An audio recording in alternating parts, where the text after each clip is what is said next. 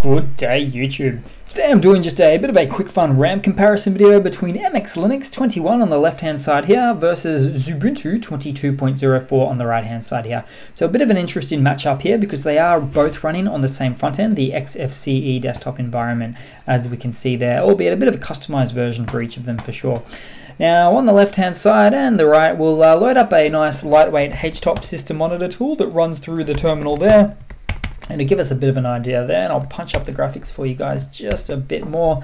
And here we go, a bit of a much of a muchness, but 494 megabytes of RAM on boot up for MX Linux 21 uh, versus Ubuntu running at uh, 480 megabytes of RAM.